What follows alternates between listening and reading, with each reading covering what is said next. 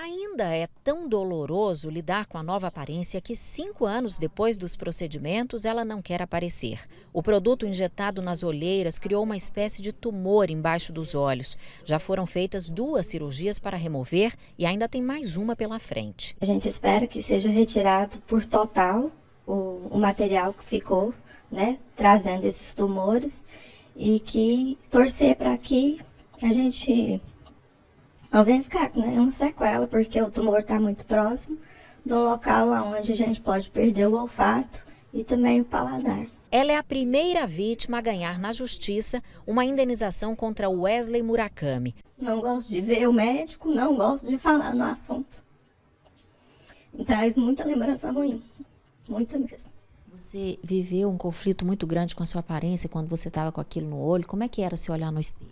Não só com a minha aparência, como com as pessoas que conviviam comigo, porque elas me olhavam diferente.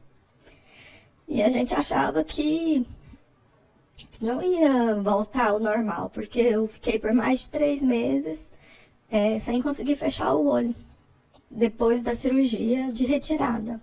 O médico foi denunciado por mais de 30 pacientes de Goiânia e Brasília por procedimentos mal feitos que deformaram o rosto deles. A mulher vai ser indenizada em 60 mil reais por danos morais e estéticos. Esse valor vai reparar basicamente os gastos que ela, que ela teve porque ela teve é, gastos médicos e com outras operações, e vai, mesmo que simbolicamente, reparar o sofrimento, a angústia, o desgaste, o dissabor que ela teve. O médico foi preso em dezembro do ano passado a pedido da polícia do DF e solto um mês depois. Com registro no CRM suspenso, ele segue impedido de exercer a medicina em todo o país. Existe um outro processo em andamento contra Murakami. Corre em segredo de justiça. Mas as denúncias recentes feitas por 15 vítimas aqui em Goiânia, até agora, não foram encaminhadas ao Poder Judiciário. O delegado diz que ainda aguarda laudos do IML. Só tem uma médica que faz esse exame, que é ligado à, à cirurgia plástica. Né?